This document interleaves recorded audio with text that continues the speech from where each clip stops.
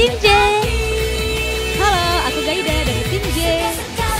Halo, aku Gracia dari Tim T. Halo, aku Michelle dari Tim T. Halo, aku Naomi dari Tim J.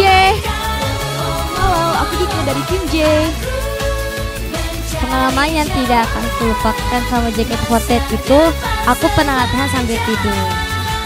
Soalnya aku orangnya emang pelor, kalau ngantuk banget, mau di mana pun posisinya pasti aku tidur. Pengalaman yang gak akan pernah kulupain dari JKT48 itu pernah perform bareng all member JKT48 soalnya all member JKT48 itu kan banyak sampai 70-an gitu. Terus panggung terus kayak rame gitu seru. Jadi pengalaman yang gak bakal aku lupakan selama aku di JKT48 adalah aku bisa pergi ke Jepang sendiri waktu konser bareng kakak-kakak di AKB48 karena itu pertama kalinya kita bisa satu panggung sama kakak-kakak AKB48 pose selfie favorit kita kayak gini nih kita agak gimana gitu kalau misalkan fans ada yang sebut kita girl band karena kita tuh bukan girl band tapi kita idol group. Kon secara konsep sama namanya juga udah beda gitu. Secara kita dari sister groupnya AKB48.